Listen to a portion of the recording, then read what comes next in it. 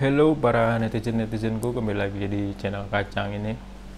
Ya kembali lagi di hari Sabtu seperti biasa. Hari ini gue bakalan ingin membahas bagaimana cara memasang Nissin Samurai 2P di Sonic dan 4P di Sonic.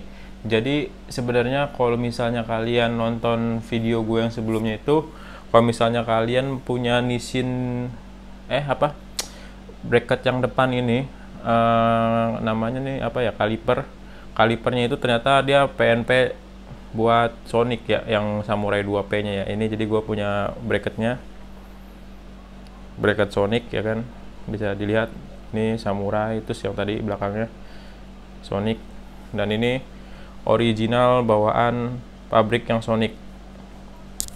Nah kalau misalnya kalian mau make Nissin Samurai 2P buat di depan. Kalian gak usah bingung-bingung nyari iniannya. Kalian beli yang bekasnya aja buat motor apa aja. Karena bracketnya itu sama kayak punya Sonic.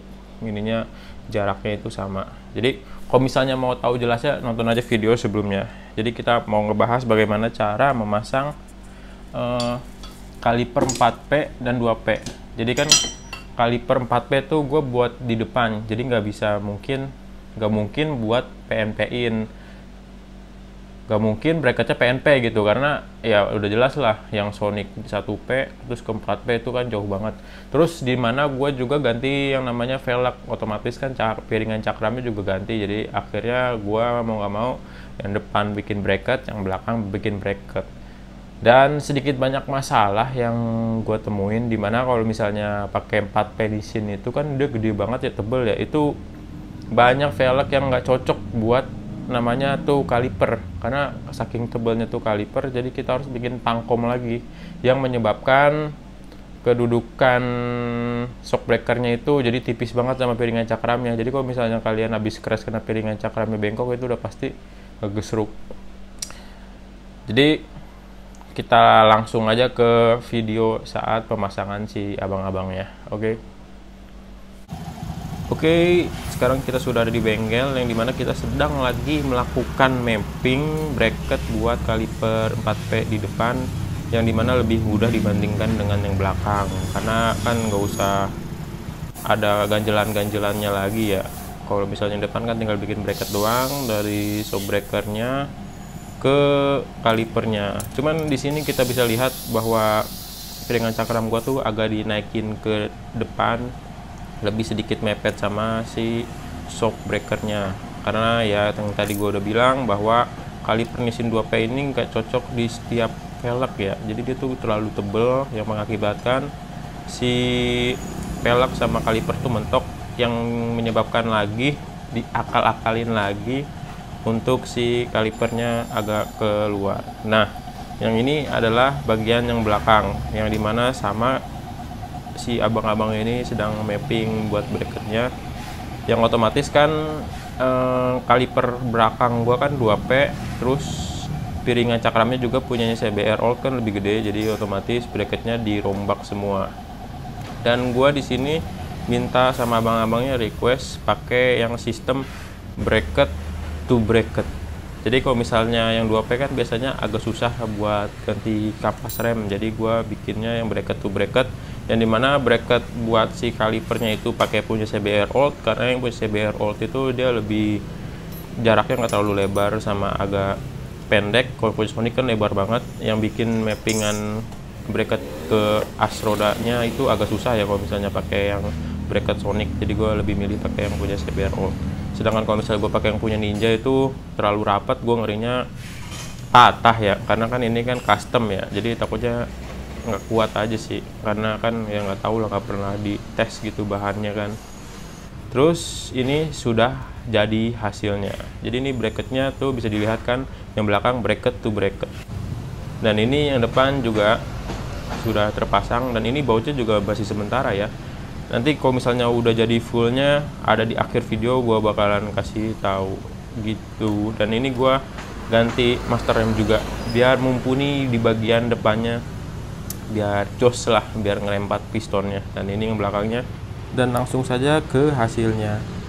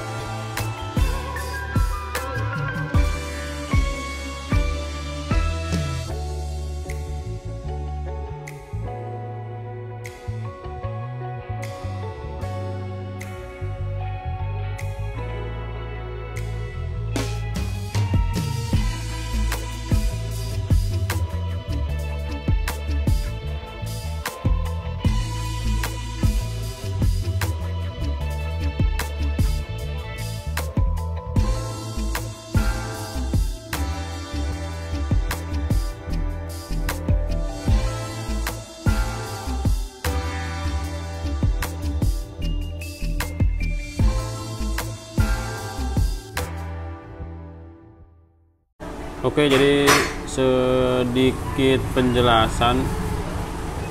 Kalau misalnya kaliper Nissin 4P itu udah kan gede banget nih, ini bisa lihat jaraknya tipis banget nih. Tangan telunjukku aja nggak masuk.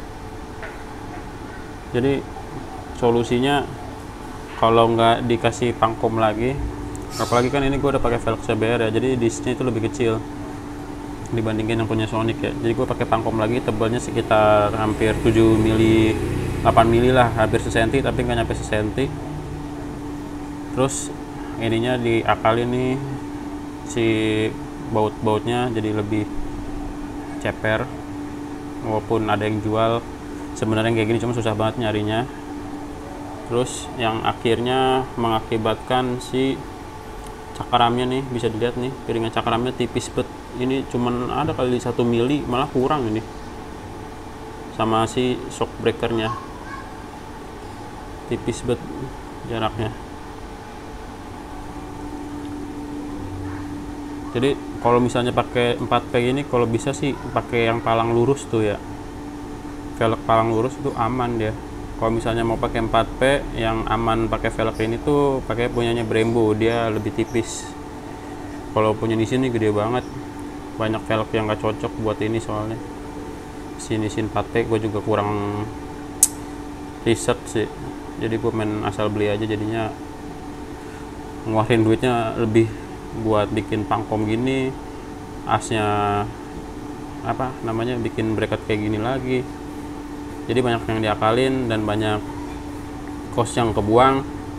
Jadi apa ya di luar prediksi gua yang mengakibatkan harganya membludak. Padahal kalau misalnya dengan harga yang custom kayak gini terus pakai pangkom kayak gini tuh bisa beli yang namanya Brembo 4P bekas ya. Tapi nggak apa-apa. Kita nggak pernah tahu namanya modif kan. Pasti ada aja yang budgetnya keluar. Oke gitu aja sih tambahannya Oke, jadi begitu saja video kali ini. Bagaimana cara pemasangan Nissin Samurai 4 piston dan 2 piston di motor Sonic dengan velg CBR Old. Jadi kalau misalnya kalian ada yang masih bingung, tulis saja di kolom komentar. Kalau misalnya kalian pengen nanya-nanya, bisa tulis di kolom komentar. Kalau misalnya kalian pengen ngasih saran Sonicnya enaknya diapain, bisa nulis di kolom komentar. Jangan lupa di like, kalau bisa sih di share gitu ya biar para pengguna Sonic yang pengen ganti kaliper tuh melihat video kali ini jadi terbuka harus menyiapkan budget yang cukup ekstra ya apalagi velgnya udah diganti macam-macam itu jadi sedikit agak sulit. Oke jangan lupa di subscribe bye bye